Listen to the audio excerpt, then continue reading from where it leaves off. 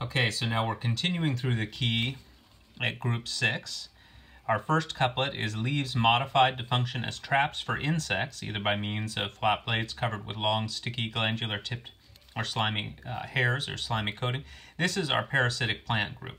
We can go straight to 1b, leaves not modified to function as insect tra traps, as described above.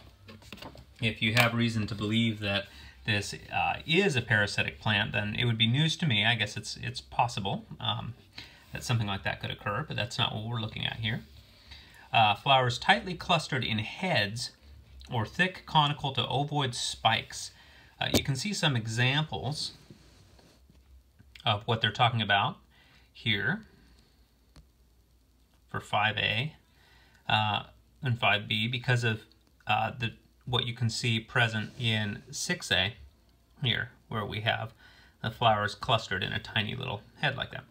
These are clustered flowers, but they're not in a tight little head. We've got leaves in between the individual flowers. And so we won't say that these are flowers clustered in heads or thick conical spikes surrounded by an involucre of a few uh, bracts. Um, that will be like something in the Asteraceae, which we'll we'll get to later.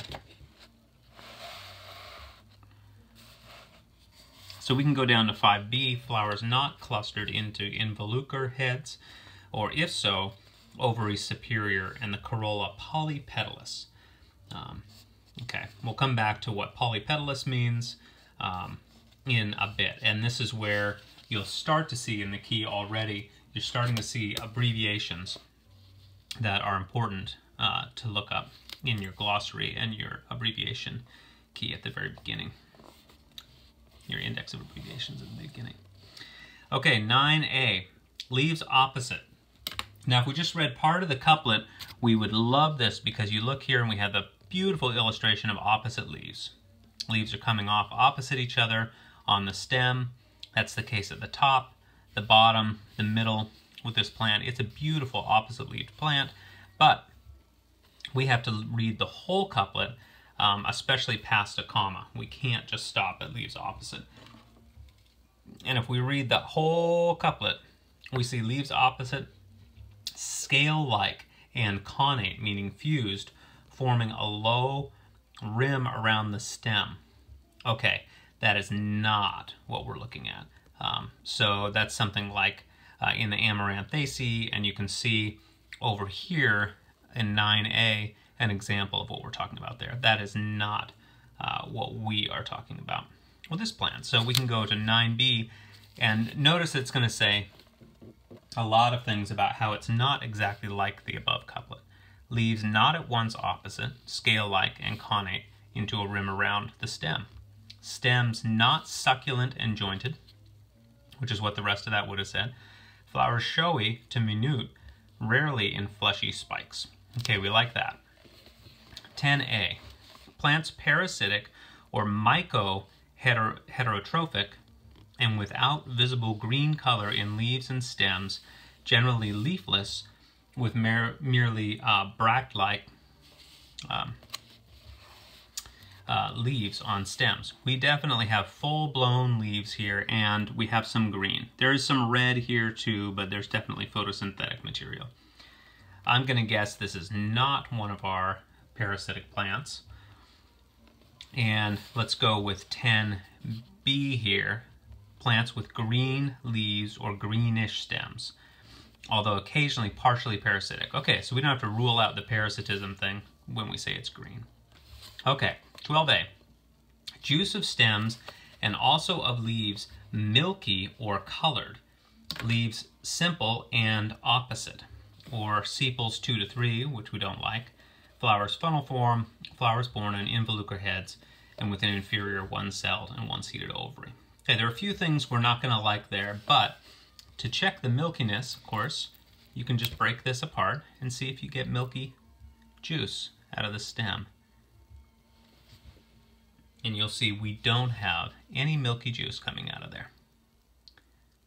So we're going to say non-milky. Juice of stems and leaves clear, non-milky. Other characters occasionally as above. Dried specimens with milky juice in evident may also be keyed here. Okay, 13A and 13B. Leaves whorled, generally three or more per node, excluding plants with all leaves with leaves all basal, and excluding those with alternate but tightly clustered or bunched leaves. Okay, I don't like that because I only have two leaves here, not three. I wouldn't call them whorled, I'd call them opposite. And the leaves are definitely not all basal.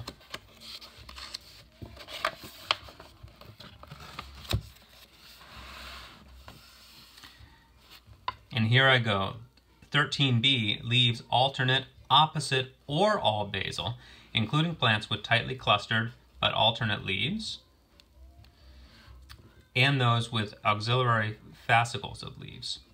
Okay, we like that a little bit better because it includes opposite leaves. It doesn't rule them out. 14a, corolla polypet and strongly bilaterally symmetric, generally showy. Now we have a corolla here, pick up the one that I separated from our plant a little earlier, that is strongly bilaterally symmetrical, or otherwise known as zygomorphic. So what that means is that it's face-shaped uh, rather than being um, actinomorphic, like we have here, roundly symmetrical like a wheel, this one's bilaterally symmetrical, more like a, a cross or a face. Okay, so polypet also refers to petals that are all separate from each other rather than gamopetalous. This is a gamopetalous corolla where um, all the petals have been fused into one tube.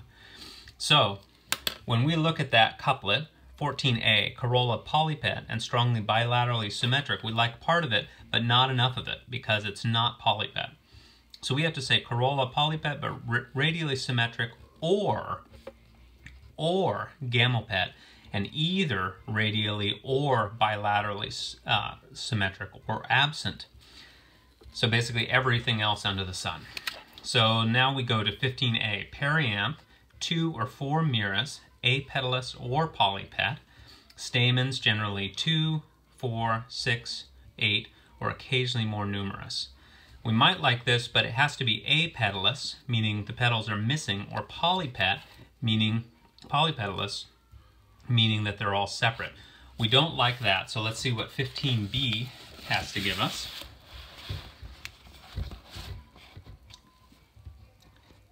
Fifteen B. Perianth generally five merous, or occasionally three, six, or seven merous, or parts numerous, or lacking. Okay. 16a. Leaf blades pinnately, ternately, or palmately divided into compound divisions extending greater than halfway to the lid to the uh, midrib of the leaf base. We don't like that because in our uh, plant we have leaves that are not divided at all. They're a little toothed at the end, but we would not call them divided. So we have to go to 16b, leaf blades from entire toothed to lobed or hastate, the lobing generally not greater than halfway to the midrib of the base. Okay, then we get to go here. Perianth parts alike not consisting of two dissimilar sets. What that's saying is that the uh, sepals and the petals are identical or very similar to one another. That's not the case. We have already looked at our flower and we saw we had a gamopet corolla and then we had those greenish um, bracts down there for the sepals that we counted as five. So we know that's not true. Perianth is both calyx and corolla the two dissimilar. Now we just say the corolla is polypet or lacking, or the corolla is gamopet. And what do we have? We have a gamopet corolla. It's all fused into a tube, much like here. Now we just have to say, is our ovary partially to wholly inferior, or is our ovary superior? And what that means is that we have to look inside of our flower and determine if the ovary sits above the other parts of the flower, on top of it, or if it's buried in a tube or underneath the flower, like this. Uh, here, inferior to superior. And it just so happens that with this one, I can tell you that we're looking at an, a superior ovary. If we look at it, it's going to look more like that. Okay, so we're going to go with 6K, page 32.